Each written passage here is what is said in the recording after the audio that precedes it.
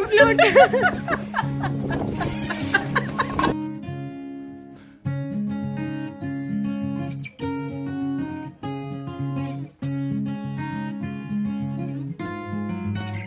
Hello good morning दोस्तों, कैसे हैं आप लोग? मैं उम्मीद करती हूँ कि आप सभी बहुत अच्छे हैं। मेरा पूरा परिवार जो मुझे देखता है, स्वस्थ है हेल्दी है। तो बस आज पौने छः बजे मैं उठी थी। और छः बजे से मेरे काम शुरू हुए थे। तो थोड़ी सी तबीयत आप लोग को बताया ही था कि थोड़ी सी डाउन है तो आप लोग भी कह रहे हैं रेस्ट करिए। तो मैं इसीलिए थोड़ा सा लेट उठी, नहीं, पाँच बजे जैसा आप लोग जानते हैं, उठ ही जाती हूँ। तो बस दवा ले ली हूँ, दवा दिखा के आई थी मैं। तो सुबह खाली पेट थी दवा तो वो ले ली हूँ। उसके बाद ये है मिश्री। तो उस दिन कमेंट आया था कि आप मिश्री कैसे लेते हैं? मतलब कैसे खाते हैं? बताइए। तो बस मिश्री, जो धागे वाली मिश्री आती, वो ले आया था। उसको पीस के डिब्बे में भर लेना है और सुबह खाली पेट इसमें घी मिला के, जैसे एक चम्मच आपने मिश्री पाउडर लिया, एक चम्मच घी मिलाया और देसी घी, शुद्ध घी रहेगा तो बहुत ही अच्छा है। तो बस इसको मिला के बस सुबह सुबह ले लीजिए खाली पेट। और बस अब नाश्ता बनाने में लग गई हूँ तो साफ़ सफ़ाई में झाड़ू वगैरह लगा दी हूँ। और मैं आप लोगों से भी यही बताना चाहूँगी तो जैसे मैं हॉस्पिटल एम एच ये फौज से हैं तो हम लोग का आर्मी हॉस्पिटल होता है ना, उसमें दिखाया करती थी। तो अभी मैंने कहीं प्राइवेट में जाके दिखाया है। तबीयत तो मुझे ज़्यादा ही गड़बड़ लग रही थी, काफ़ी दिनों से परेशान थी सर दर्द से। तो किसी ने बोला कि सिविल में एक डॉक्टर हैं, उनकी दवा करिए। तो अभी तो आयुर्वेद का है वो। कुछ दिन दवा इलाज करा लूँगी, तभी पता चलेगा कि फ़ायदा हो रहा है या नहीं हो रहा है। तो लेकिन उन्होंने एक बात बोली कि खाली पेट मतलब जैसे जिनको भी सर दर्द होता है उनको बस यही कहना चाहूँगी कि सुबह के टाइम में खाली पेट ना रहें सुबह नाश्ता टाइम पे कर लेना चाहिए। तो उन्होंने यही बोला कि सुबह आठ बजते बजते आप नाश्ता कर लिया करिए और वो भी बिस्किट टोस्ट रस्क वगैरह जो होता है वो नहीं फुल पेट नाश्ता जैसे रोटी पराठे का होता है वो करना चाहिए। तैयार हो गए देव और हो गया है टाइम स्कूल जाने का घड़ी में। ये नहा के मंदिर पहुँच चुके हैं तो बस अब मैं भी फटाफट से नहाऊँगी। सारी तैयारी अपना नाश्ता बन चुका है। मौसम खराब हो चुका है तो देव जा रहे हैं स्कूल दीक्षा जा रही हैं छोड़ने। तो बस मैं चलूँगी अब फटाफट से। नहा के मंदिर में ये पूजा करने मतलब पूजा की तैयारी कर रहे हैं, ताकि मैं भी पहुँच जाऊँगी, जल्दी जल्दी साथ में हो जाएगी पूजा। तो आठ, आप लोग का अक्सर क्वेश्चन आता है कि आप कितने बजे नाश्ता बनाते हो, कितने बजे करते हो। तो सुबह स्कूल नहीं जाना होता, तभी आठ बजे तक बन जाता है। जब स्कूल जाना होता है तो सात बजे तक बना लेती हूँ। तो बस ये देखिए, घड़ी में सवा सात हो गए हैं और मेरा पानी गर्म हो रहा है बाथरूम में। तब मैं जाऊँगी नहाने के लिए, नहा के मेरे लिए पानी लगा के चले जाते हैं। तो कई बार मुझे ये कमेंट आते हैं कि आप किस टाइम पे नाश्ता बनाते हो किस टाइम पे खाना बनाते हो ये प्लीज़ टाइम बता दिया करिए। तो अक्सर क्या होता है सात आठ बजे तक मैं नाश्ता बना लेती हूँ। पहले लेकिन जैसे छुट्टियाँ चल रही हैं तो सीधे नहाना हो जाता है साफ़ सफ़ाई करने के बाद। नहाना करके फिर नाश्ता बना लेती हूँ और जब स्कूल जाना रहता है तब मैं सुबह क्योंकि ठंडियों में तो लेट स्कूल रहता है। ठंडियों में सुबह साफ़ सफ़ाई करके नहा के भी नाश्ता बना लेती हूँ लेकिन गर्मियों में नहीं हो पाता है। गर्मियों में क्या होता है कि पहले उठी थोड़ी सी साफ़ सफ़ाई झाड़ू वगैरह लगाया फिर किचन में लग गई नाश्ता बनाया स्कूल भेज दिया सात आठ बजे तक बन गया नाश्ता हमारा।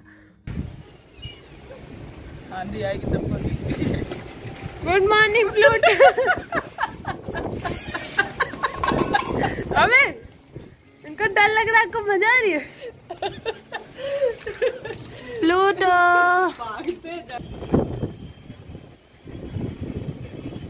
फाइनली मौसम खराब हो गया। आज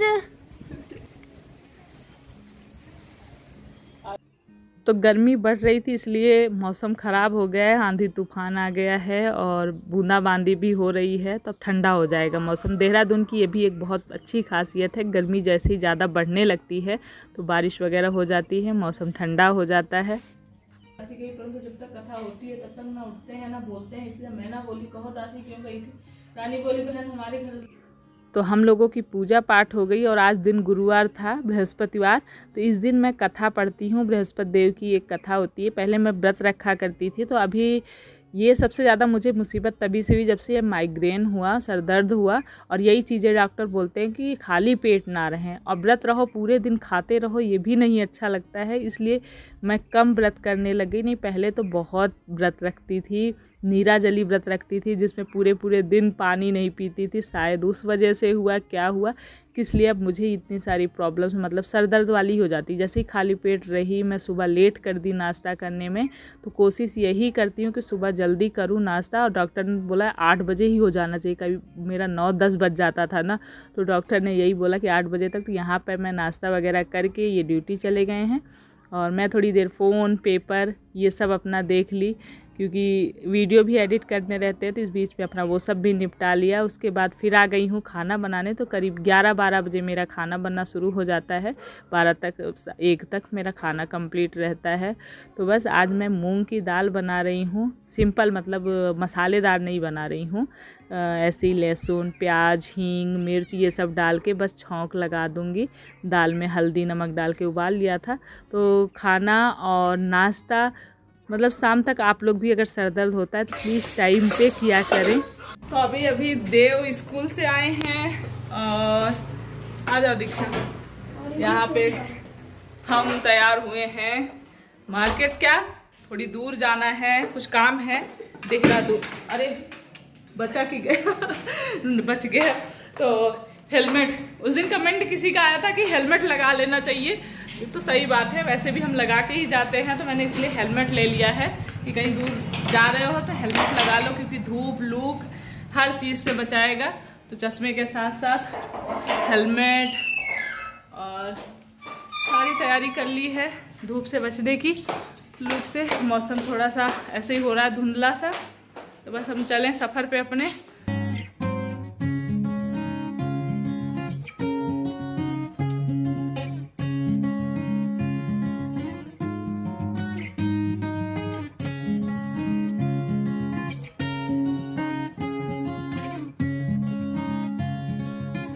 तो यहाँ पे हम शॉपिंग कर रहे थे। फॉल लेनी थी मुझे साड़ी की और दीक्षा ने लिया है बोरोलिन। बहुत पहले बोरोलिन लगाया करते थे और यहाँ पे दुकान वाली बोल रही थी मैंने कहा बेटा ले आओ साड़ी ले आओ। तो कहीं आपकी बेटी है?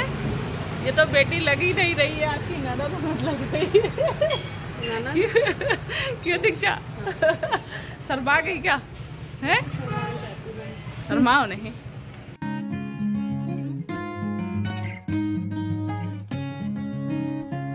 तो घर पहुँचने के बाद मैंने चढ़ा दी है चाय। शाम का समय होने वाला था तो बस चाय और बिस्किट। मैंने मेरा मतलब कुछ बनाने का मन नहीं था और मैंने सुबह की चाय तो बंद कर दी है डॉक्टर ने बोली थी।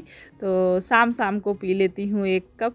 तो मैंने कहा चाय पी लेती हूँ तब कुछ काम किया जाए। तो फॉल लेकर आई थी तो मैंने कहा साड़ी में चलो फॉल लगा लेते हैं। तो क्योंकि आप लोग को बताए गाँव भी जाना है और मुझे कई बार ना ऐसे ए, कभी कोई बहन बोल देता है है तो कभी कोई मतलब दीक्षा के साथ ना जाती हूँ तो कई बार ऐसे लोग बोल देते हैं तो दीक्षा हंसती है मम्मी ऐसा क्यों बोलते लोग? तो होता है, कई बार ऐसा हो जाता है और आप लोग जो पुराने सब्सक्राइबर हैं उनको पता भी होगा, पहले भी मैंने ये बातें बताई हैं तो बस मैंने फॉल लगा ली और उसके बाद शाम का समय हो गया है और झाड़ू लगा लूँगी अब।